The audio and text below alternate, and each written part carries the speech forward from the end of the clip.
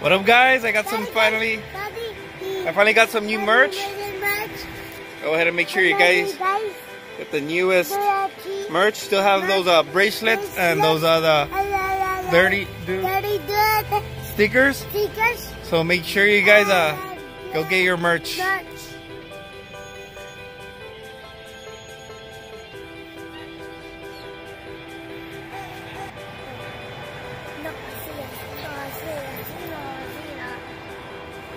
Dirty dude.